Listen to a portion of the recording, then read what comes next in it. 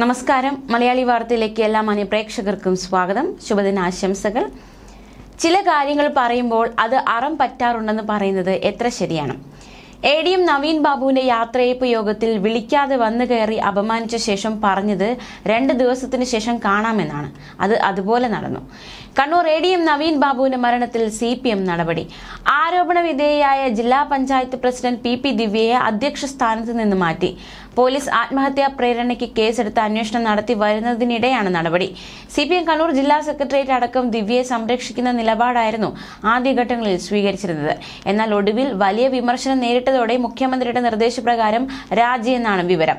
മൂന്ന് ദിവസവും പ്രതികരിക്കാതിരുന്ന ദിവ്യ സി പി എം നടപടിക്ക് പിന്നാലെ പ്രതികരിച്ചതും പാർട്ടി നിർദ്ദേശപ്രകാരമാണ്.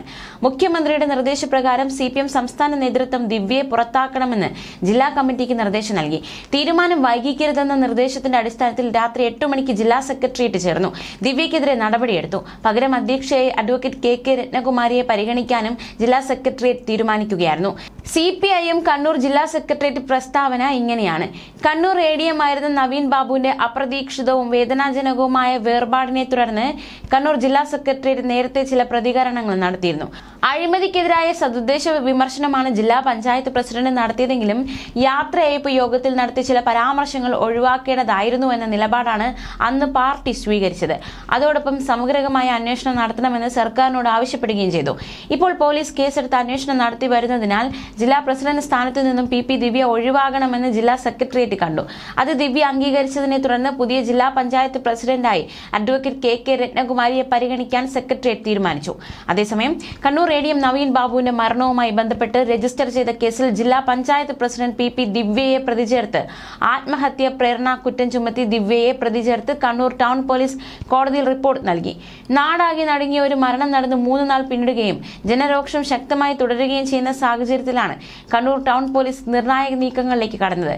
പൊതുവേദിയിൽ എ ഡി എം നവീൻ ബാബുവിനെ അധിക്ഷേപിച്ച ജില്ലാ പഞ്ചായത്ത് പ്രസിഡന്റ് പി പി ദിവ്യക്കെതിരെ ആത്മഹത്യാ കുറ്റം ചുമത്തിയാണ് കേസെടുത്തത്. ഭാരതീയ ന്യായ സംഹിതയിലെ വകുപ്പ് നൂറ്റിയെട്ട് പ്രകാരം പത്ത് വർഷം വരെ തടവ് ശിക്ഷ കിട്ടാവുന്ന കുറ്റം ചുമത്തിയാണ് പോലീസ് കണ്ണൂർ സെഷൻസ് കോടതിയിൽ റിപ്പോർട്ട് നൽകിയത്. നവീൻ ബാബുവിന്റെ മരണത്തിന് പിന്നാലെ അസ്വാഭാവിക മരണത്തിന് കേസെടുത്തിരുന്ന പോലീസ് ആരെയും പ്രതി ചേർത്തിരുന്നില്ല നിലവിൽ ദിവ്യയെ മാത്രമാണ് പ്രതി ചേർത്തിട്ടുള്ളതെങ്കിലും കൂടുതൽ പേർ പ്രതികളാകാനും സാധ്യതയുണ്ട്. ദിവ്യയ്ക്കും പെട്രോൾ പമ്പിന് അപേക്ഷ നൽകിയ പ്രശാന്തിനുമെതിരെ നവീന്റെ കുടുംബം പരാതി നൽകിയിരുന്നു. ജാമ്യമില്ലാ കുറ്റം ചുമത്തി കേസെടുത്ത സാഹചര്യത്തിൽ ദിവ്യയെ അറസ്റ്റ് ചെയ്യുന്നതടക്കമുള്ള കാര്യങ്ങളിൽ പോലീസ് അവ്യക്തത തുടരുകയാണ്. ന്യൂസ് ഡെസ്ക് മലയാളി വാർത്ത.